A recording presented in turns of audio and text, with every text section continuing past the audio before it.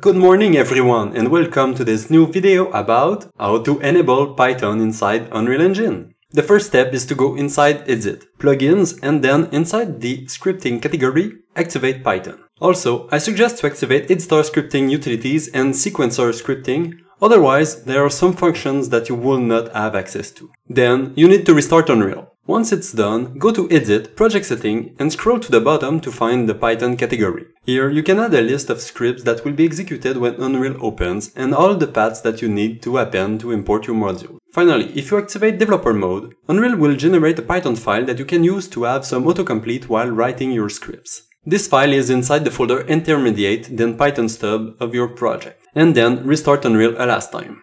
Now that everything is enabled, let's check that everything is working. If we look at the script I ask Unreal to execute on startup, we can see that it should have a hello inside the log, and here it is. Then, because I added the path of my second script inside the project setting, I should be able to import it. To do so, we need to make sure that the output log is in Python mode, and then simply write our commands. So, if I import some functions as sf, I should be able to call all the function it contains. If we test sf.sayHello, we can see my print right after. And when we test sf.add some numbers, giving it 4 and 6, the answers follows.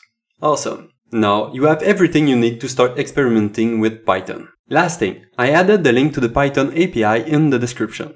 In the next videos, we'll start to explore the Asset Tools class to import and create some assets. For now, I'm going back to work and I'll see you in the next video.